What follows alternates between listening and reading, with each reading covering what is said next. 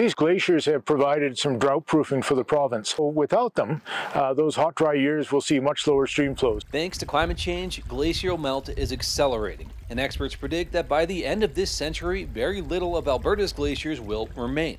In fact, one study suggests the Bow Glacier, which feeds the Bow River, could be almost non existent.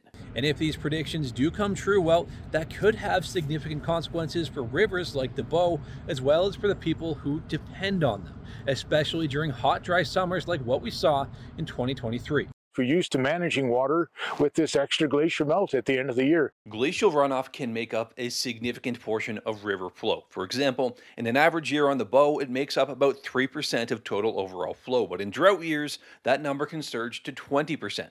And now, this backup supply for the Bow and other Alberta rivers is set to run out. Experts say that will make it more likely we'll need to limit water use in homes, farms, and power plants in the future we're finally seeing the, the end of the last vestiges of the Ice Age, and it's really the Ice Age that modern civilization civilizations developed in. The city of Calgary shares this concern.